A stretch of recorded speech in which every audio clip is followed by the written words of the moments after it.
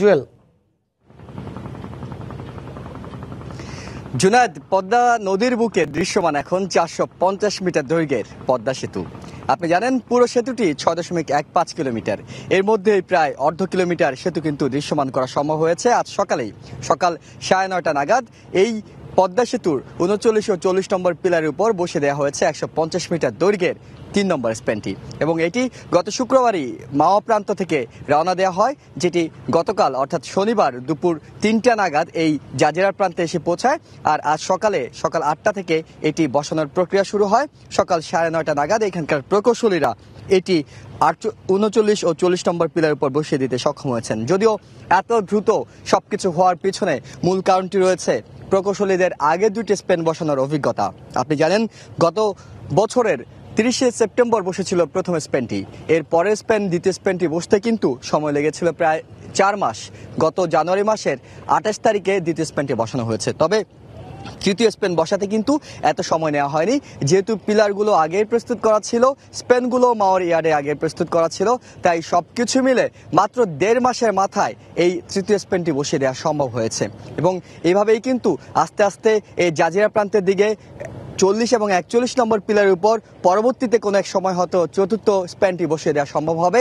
আর সব মিলে যদি মাওয়া প্রান্ত একই সঙ্গে কাজে গতি আনা সম্ভব হয়, তাহলে মোট একচল্লিশটি পিলারের বিয়াল্লিশটি পিলারের উপর একচল্লিশটি স্পেন যদি বসে দেওয়া সম্ভব হয় তাহলে হয়তো আমরা খুব বেশি দেরি না হলে হয়তো কোনো একটা সময় এই সুখবর দিতে পারব যে পুরো পদ্মা সেতুটি হয়ে গিয়েছে, যার প্রক্রিয়াটি চলছে এইভাবে। এবং এইভাবেই কিন্তু পদ্মা নদীর বুকে যে অনিশ্চয়তা ছিল, পদ্মা সেতু নিয়ে যে অনিশ্চয়তা ছিল, সেই অনিশ্চয়তাগুলো কাটিয়ে এক টুকরো আশার আলো হয়ে এক একটি স্পেন এই পদ্মা নদীতে বসে আছে।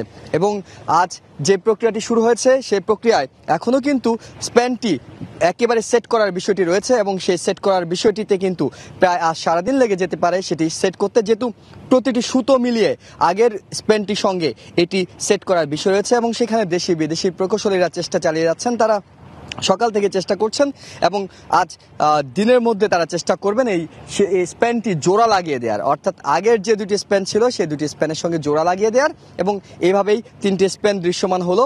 পরবর্তীতে আমরা আশা করছি যে আরও একটি একটি করে স্প্যান দৃশ্যমান হবে। যদি একটু বলে রাখি যে এখন পর্যন্ত পরের স্প্যানটি বসানোর জন্য যে পিলারটির প্রয়োজন, সেই পিলার অর্থাৎ একচল্লিশ নম্বরের পিলারটির পুরো কাজ কিন্তু শেষ হয়নি, আমাদের পাশে সেই প্লেয়ারটি রয়েছে এবং সেটিরও কাজ চলছে।